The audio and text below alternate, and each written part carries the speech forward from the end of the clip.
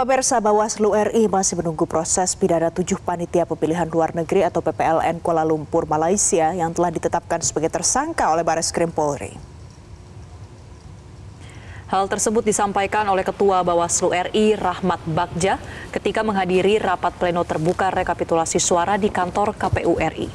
Bagja mengatakan akan menguatkan pengawasan pada pemungutan suara ulang di Kuala Lumpur, Malaysia yang rencananya akan dilakukan tanggal 9 dan 10 Maret 2024. Caranya adalah dengan menurunkan sejumlah personil Panwaslu dari Indonesia untuk melakukan pengawasan PSU di Kuala Lumpur nantinya. Sebelumnya sebanyak tujuh PPLN Kuala Lumpur, Malaysia ditetapkan sebagai tersangka oleh Bares Krim Polri. Mereka dijerat pidana pemilu karena diduga memalsukan data pemilih dengan menambah jumlah daftar pemilih tetap.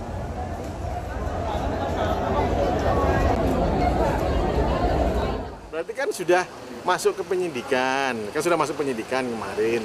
Berarti kita tinggal tunggu proses yang sedang dilakukan oleh teman-teman penyidik uh, Baris Krim Mabes Polri. Itu tujuh orang yang ditersangkakan itu hmm. itu uh, memang PPLN yang dinonaktifkan oleh KPU.